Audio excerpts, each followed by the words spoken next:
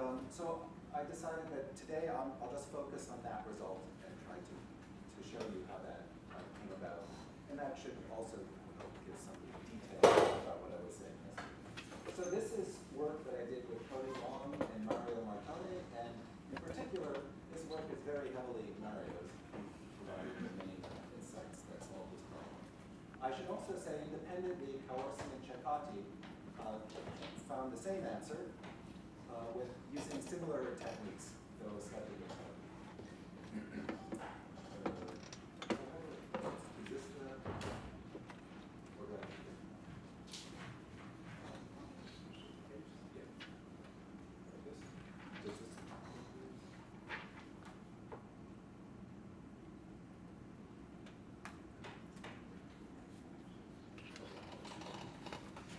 Um, so here, here's the statement again. Recall, um, these field theories have Coulomb branches, um, and if they're r-dimensional, they have r uh, u1 vector multiplets, and the complex scalars um, uh, in these multiplets get vevs, and I'm, and I'm saying that I can compute the possible allowed values of the scaling dimension of these scalars. If it was a free theory, they would all be dimension one, but in general, these are not free theories. I want to see what set that I can find.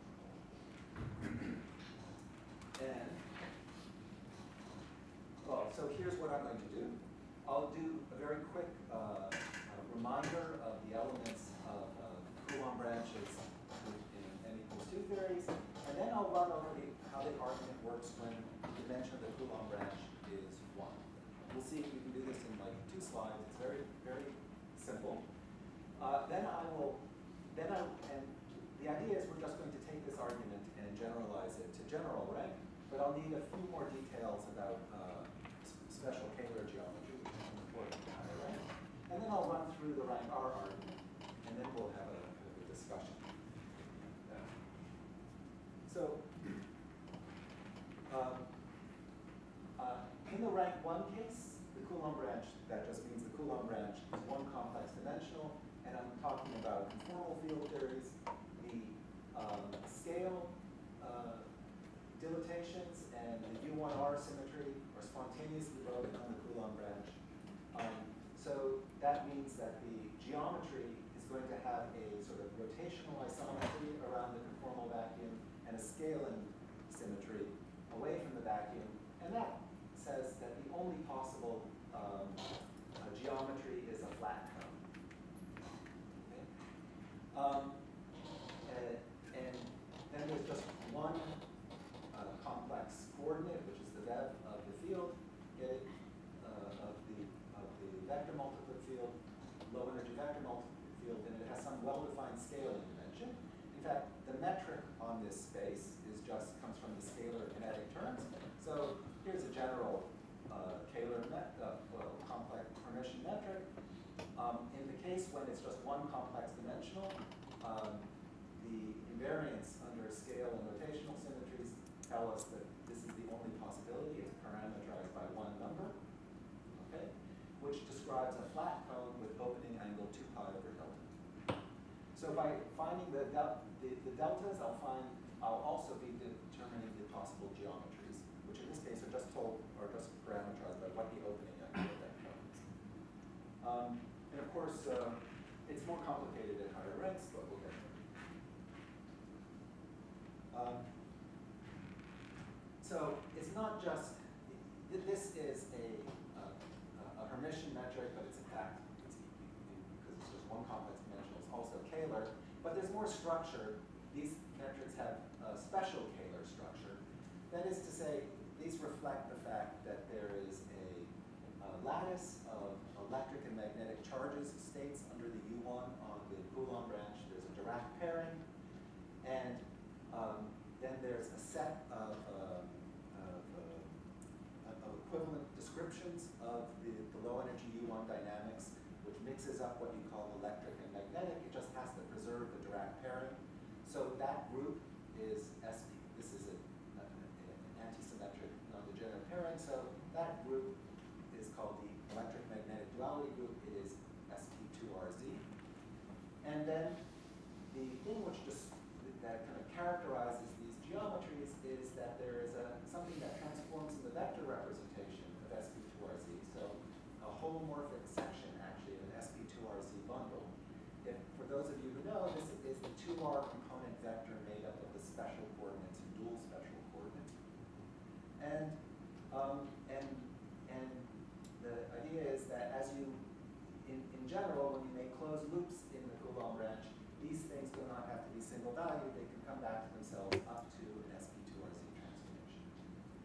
And if I know what this section is, this metric, it's not just a Kähler metric, but it's actually built out of the section in a particular way. So again, we should emphasize that this is a, as a, this is as a complex space, it's just a complex plane, but it has a metric singularity.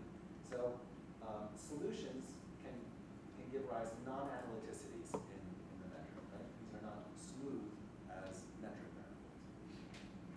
Um, uh, you can also see, actually following from this relation, um, that the mass dimension of the special Kähler section is one. It's what determines what we mean by mass, mass theory.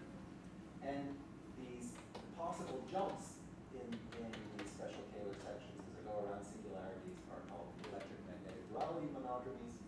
And so they are some elements of sp2rz.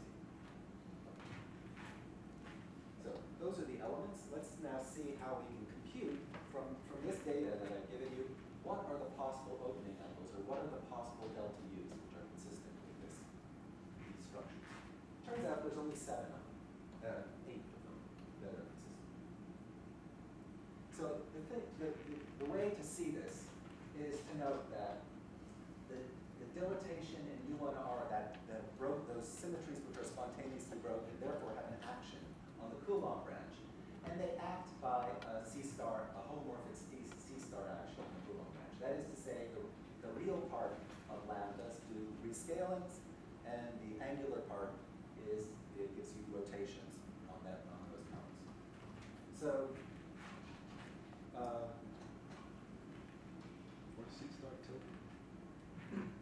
Well, um, I'm not assuming that these uh, uh, deltas are are integers or even rational. So this is really a universal cover of C star, so it's kind of like Riemann surface of log function. Um, it, it will turn out, our result will turn out to show that the only allowed deltas are rational, so I could do actually a sort of finite cover of this. Turn it, renormalize things so it becomes a C star actually. Um, the U1R, uh, uh, we'll, we'll call a U1R orbit of a given point on the Coulomb branch. The, the, the orbit traced out by a, by choosing lambda to be a pure phase. And clearly, just from this, it see, it as, uh, with the, the period periodicity 2 pi over delta u, this forms a closed path, a little circle on the, on that, um, uh, on the, on the crown. Um, because sigma has scaling dimension one, it's that, that, this is the statement, because remember, uh, the lambdas, uh, measured the scaling dimension, the radial part was the dilatations. Um, so it tells us that uh, sigmas are satisfy this homogeneity relationship. And so that immediately implies that if I if I go around my my my uh, my circle uh, on the my U1R orbit on the Coulomb branch, I I come back to myself. On the one hand, um, U has gone, if I do a, a closed loop on the, on the Coulomb branch, U has come back to itself. That is to say, U has gone, gone to e to the 2 pi i times U. On the other hand, uh, a, a given phase acting on U, so if, if lambda to the delta U is e to the 2 pi i, then we say sigma e to the 2 pi i U is just e to the 2 pi i over delta, delta U times sigma. So that's telling me that this is, puts a strong constraint on this vector, sigma. It says that when I, uh, when I transport it around the singularity, it has to suffer a monodromy transformation by, uh, it's a two-component vector in this case. So it, in the rank one case, so it, it satisfies a monodromy transformation by this integer two by two matrix, but on the other hand, it has to be e to the 2 pi i over delta itself. So in particular, that says that the only allowed monodromy that could have possibly appear are ones that have a unit norm eigenvalue. And if I can figure out what these, what these eigenvalues are, then I'll know what the delta u's are. Be stuck to some shifts. So that's the idea. So, now let me just try to figure out the possible unit norm eigenvalues that element uh, that matrices in SL2Z possibly have. It's a very simple thing. You write down the characteristic polynomial. This is what it is. Remember, these are determinant one matrices. It's SL2Z. So the only thing that comes in the trace, the condition for this polynomial to have a unit norm eigenvalue is simply that the, the absolute value of the trace is less than or equal to 2. But these are integer matrices, so the trace can only be an integer, so there's five possibilities. And therefore, and, and co corresponding to these possibilities are then the diff just plug them in, figure out what the roots are for you, and here are these eight possible uh, uh, unit norm roots for eigenvalues for SLs. Great. Um, that doesn't quite, and now using that mu is e to the 2 pi uh, over delta, that doesn't quite determine delta u because I can shift 1 over delta u by an integer, right? So knowing u doesn't, doesn't determine it, but um, uh, u was the depth of, uh, of a primary, of a field in the, of a scalar field in the conformal field of the conformal field theory uh, uh, puts a bound on those scaling dimensions. They have to be greater than or equal to 1. So if delta is greater than or equal to 1, 1 over delta is between 0 and 1. And so um, then there's a, a, unique solution to this given mu, there's a, unique solution over delta, and here's the answer. Here's what the possible values of 1 over delta. These are just kind of corresponding to these phases, or inverting them. You get these eight numbers. 1, that's the free field value, so that's the, that's the trivial solution. But then there are these funny things, 6 fifths, 4 thirds, 3 halves, 2, 3, 4, 6. 2 turns out to be the value for Lagrangian SU2 theories. But these other six guys are some funny anomalous dimensions um, corresponding to other conformal field theories. Now, I told you yesterday about finding 27 distinct solutions, and here I, uh, and I include the trivial one. So what I found 27 different geometries, and here I'm only listing seven different geometries, seven different uh, angles. But what I classified last time was not just the scale invariant geometry, but the scale invariant geometries together with their allowed deformations. So these, what I'm saying is these seven scale invariant conical geometries have a total among them 27 distinct uh, uh, deformation solutions, classes of solutions. Okay. So those were the 27 that I was talking about. Good. So this is a very simple argument. So it may be encouraging, encourages us to think that maybe we can run this at higher dimensions and get a similar thing. It, it seems to just have to do, this way of writing this argument, or by the way, this result, though not found in this way at all, was basically implicit a long time ago in the work of Minahan and Nemeschansky. Um, so this basically had to do with finding unit norm, possible unit norm eigenvalues of SP2Z or SL2Z matrices. So at higher rank, we want you would think that basically that our problem is to find the possible set of unit norm eigenvalues of SP2RZ uh, matrices. And hopefully, that's just some algebraic problem that we can solve. Now, it actually turns out that that solved problem, as I just stated it, is not an an easy problem. But it turns out, because of extra um, properties uh, coming from the special Kähler geometry, we don't have to solve that harder problem, and it's actually a much more constrained problem. So, um, so there's a few facts that I need from from higher uh, dimen uh, about higher dimensional special Kähler geometries, r-dimensional ones. Um, this 2r component vector, the special Kähler section sigma, um, uh, well, I've already told you that uh, I build out of sigma the, the metric on the space. So one condition from unitarity is that that is actually a Riemannian metric. That is to say, it's, it's positive definite. So uh, that's a that there is some condition coming from that.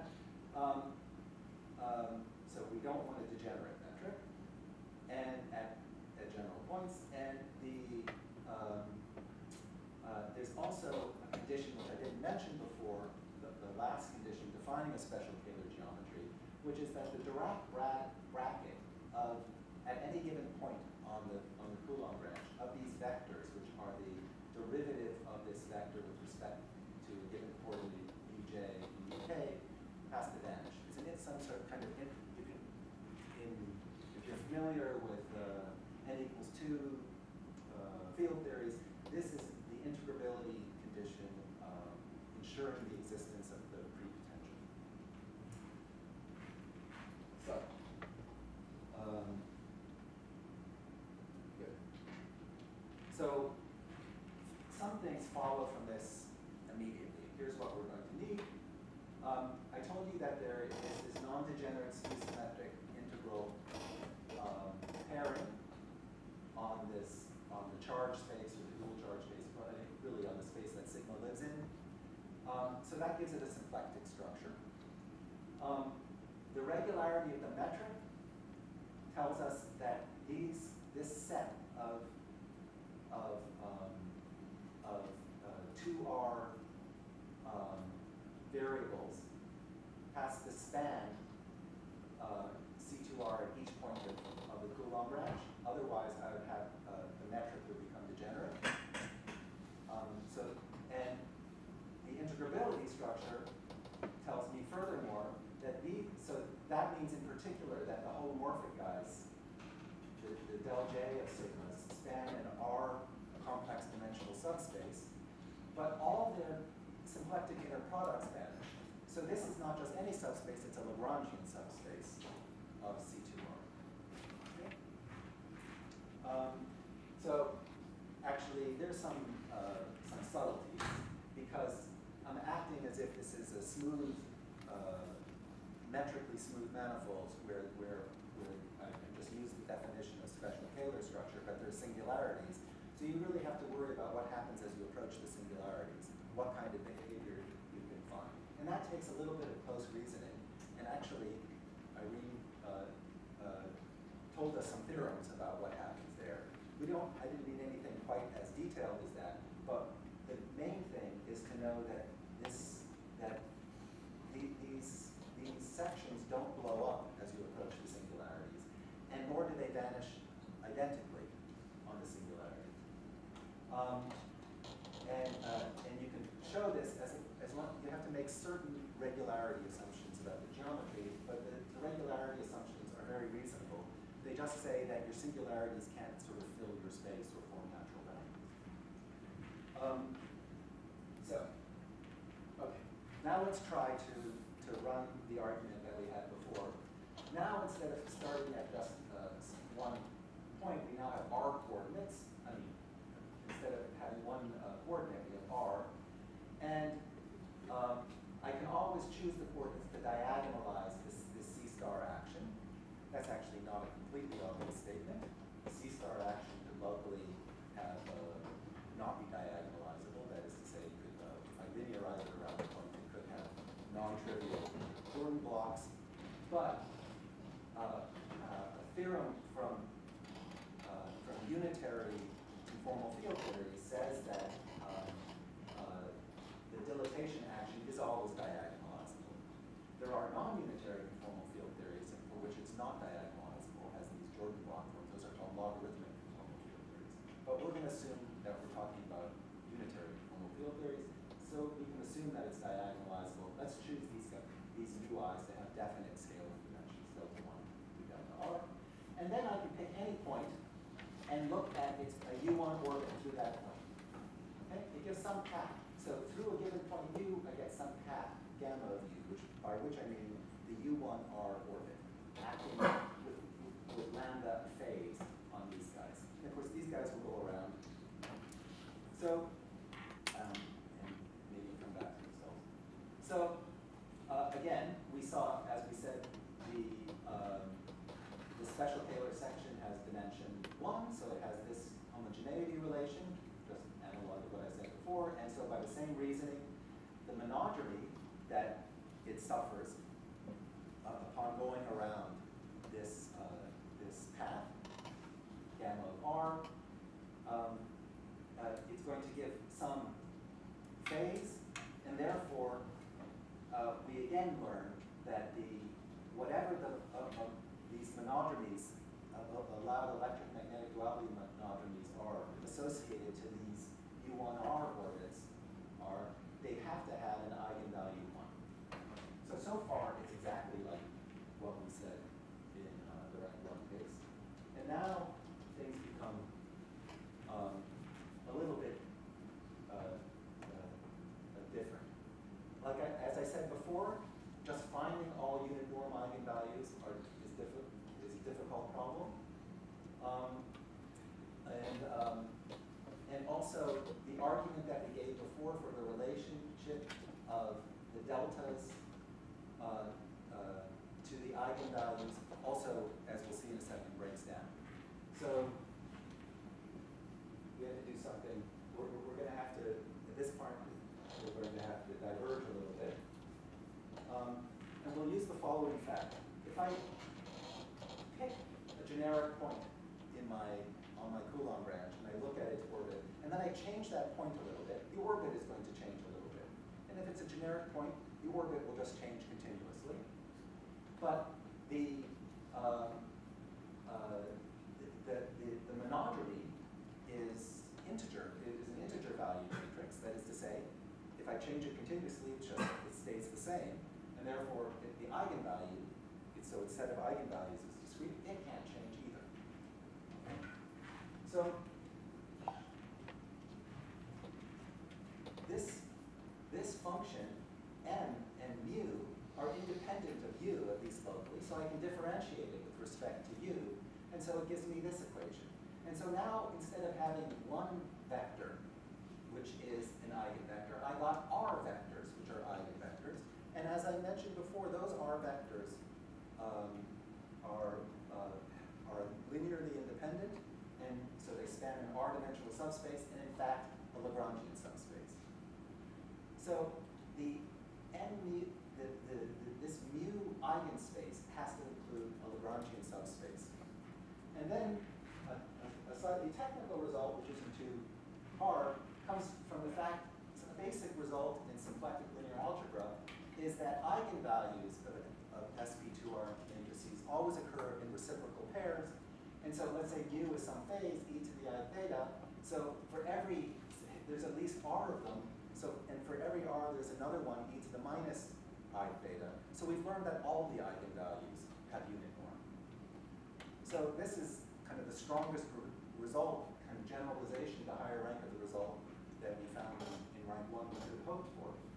Um, th there's a little, it's a little trickier because if the eigenvalue is plus or minus one, they're their own reciprocal, and so you have to worry that the, the argument that I just gave broke down. But if the answer still true, but you have to do a little bit more work using some, some basic facts about symplectic linear algebra. But we still get, I claim, we still get this result. So great. So now I'm not looking, now I've restricted my problem, I'm not just looking for the uh, uh, the, the unit, poss, all possible unit norm eigenvalues that matrices of SP2R Z can have. I'm instead looking for what are the possible unit norm eigenvalues of matrices all of, uh, in SP2R, all of whose eigenvalues are unit norm. It turns out that's a way more constrained and simpler problem. And I will, you do that by, you can completely classify the characteristic problem uh, polynomials, and I'll do that for you in a few months uh, later. But um, we still have the issue of, even if I find these eigenvalues, how are they related to the? And so far, I haven't. Uh, if you remember in the rank one case, uh, the eigenvalue was e to the 2 pi i over the scaling dimension. And so if I knew the eigenvalue and I knew the unitarity, I knew the scaling dimension. Well, that's, that's not true in, in the setup that I've just done. So let's go back and see what the relationship is.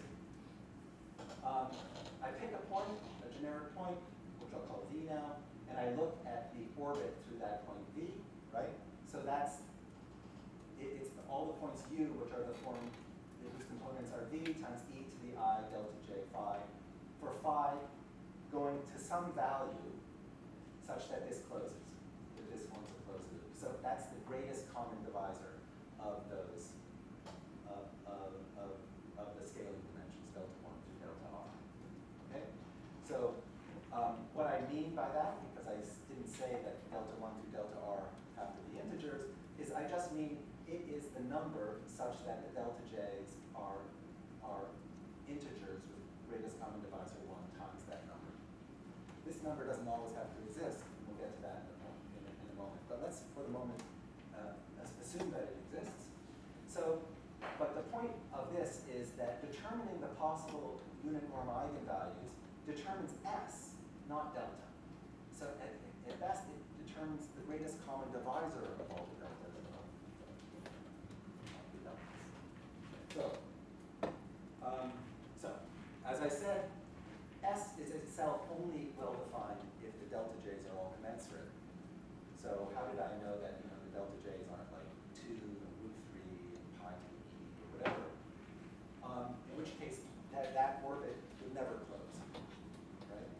Well, um, so if they're not all commensurate, then through a generic point, like, just like I said, the orbit doesn't close, the orbit becomes uh, dense in, uh, in, uh, in some subspace of the Coulomb branch.